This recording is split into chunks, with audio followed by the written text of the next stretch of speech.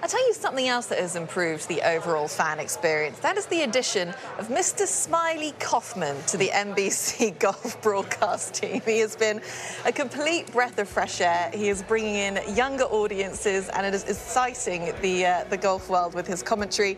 And I'll tell you what, he's even reunited with uh, Mr. Kevin Kisner this week, live from the 17th hole at TPC Sawgrass for another one of his, uh, what is becoming quite the famed happy hours. So, uh, Smylie, so good to have you on the desk. Uh, I know you've got a busy week, you've got all sorts happening. You joined us uh, yesterday as well. But so far, what's the last sort of three days look like for you here as you prepare? You know, just checking out the golf course, talking to the players. I think every player, when they get to TPC Sawgrass and to these facilities, it's the best week of the year to work on your game and to get excited about a big week ahead. Uh, but as you mentioned with the happy hour, I got my uh, running mate Kevin Kisner back. Uh, so done a little preparation for uh, 17 on Friday. And uh, yeah, we got a work cut out for us. Uh, we set a pretty high bar of, of what people to expect from us too. So we'll see uh, if we can live up to those expectations. Has Kiz done much prep as far as we know? we did zero prep last time. Literally, just we didn't even know who was coming through. When they came through, we were just like, all right, sometimes, sometimes that's the best television, man.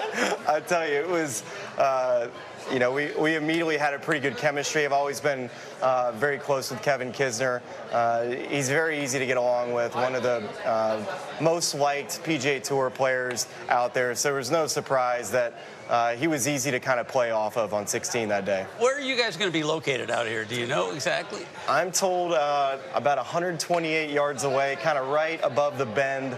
So it's uh, probably the best seat in the house, I'd say, Mark. Is everybody going to have to stop? And you said last week that everybody has to wave to you. Does everybody have to stop now? Well, I'll tell you who's not going to stop. The guy that hits it in the water. They, say, hey, they, they got they're the stopping caddies. at the drop zone. Yeah, they, are stopping at the drop zone.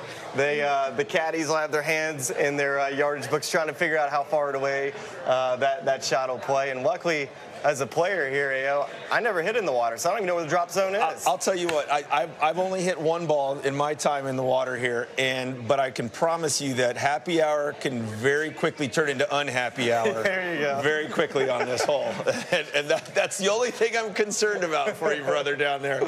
Hey, so what are the players saying this week? You've talked to a bunch of players. What are they saying right now about about kind of the conditions and what's going on out there so far early this week? You know, uh, since the change uh, to March, I'd say one of the big question marks is how firm the greens are going to play. I think that's that was the one big thing that I've heard from players is that the greens are still a little on the soft side. But they also said this is the fastest they've seen the greens on a Monday and a Tuesday and a Wednesday to this point. So we have the green speeds up, the firmness isn't quite there. You kind of expect that to change as the week goes on and the SubAir starts sucking the moisture out of these greens. But also a little bit of rough on some holes like left of four is what is is just really brutal. You know, 14's always had some of the worst rough on the golf course. On the right side. Yeah, on yeah. the right. Um, and honestly, too, one of the things when I come back here and I see the golf course, the pine straw is it's very Augusta-like in how deep and, and, thick it is, to where like your footing gets all screwed up. It's so cushy. It's cushiony. It's cushy. You can you yeah. can hit a ton of amazing shots from the pine straw, but you can also slip in an instant and hit a pine tree and hit it 50 yards behind you. you know, Smylie, this is a legendary layout that Pete Dye and, of course, Alice Dye uh, put together, but it is not for the faint-hearted. And a lot of players come out here when they first make their first couple of appearances, and they just don't really like it. It takes a long time to learn this course. How did you prepare for this for this challenge? No, it, it definitely is, and it starts off the tee. You, you just have to be so committed to your targets out there because so many of the holes call for you to hit a fade, and then the next one calls for you to hit a draw off the tee. And so you have to hit all these types of different shots and you can't have any doubt. I think that's the one cool thing about this course that Pete Dye makes you challenge the corners of these dog legs. And if you're able to challenge the corners and, and, be on the correct side of the fairway, you're given a better angle into the green and a better scoring opportunity. So I would say that a lot of these guys on Monday through Wednesday are, are, spending a lot of time just visualizing the shots they have to hit, what club it's going to be, and just either hitting a draw and making sure it doesn't cross that line or not bailing out because that's the one thing players don't want to do is get over these shots